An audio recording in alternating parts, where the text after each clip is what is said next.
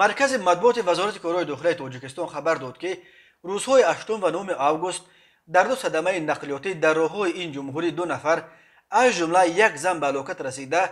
дасти кам се нафари дигар аз ҷумла як духтарчаи дувоздаҳсола ҷароҳат бардоштанд. аз ҷумла шоми аштуми августи соли 2022 тахминан соати 20:00 дақиқа ронандаи мошини тамғаи опел вектора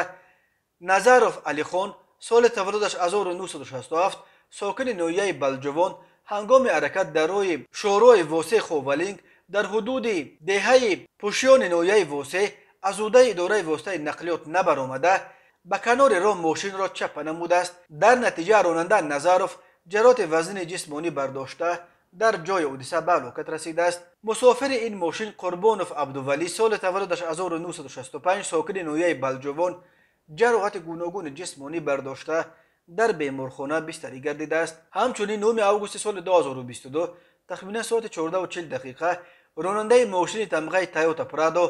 ҳасанзода сиёвуш соли таваллудаш 2000 сокини шаҳри душанбе ҳангоми ҳаракат дар шоҳрои душанбеи хоҷанд чаноқ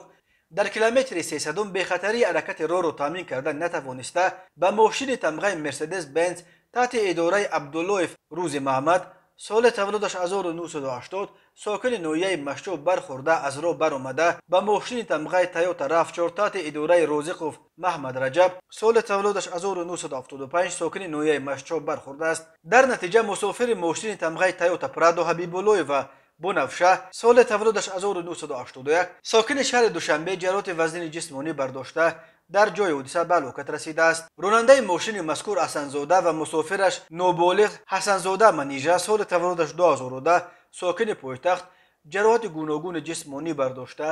дар беморхона бистарӣ гардиданд аз рӯи ин ҳодисаҳо таҳқиқот идома дорад ҳар сол бар асари садамаҳо дар роҳҳои тоҷикистон то 400 нафар ба ҳалокат расида беш аз 1200 ما يوم مش event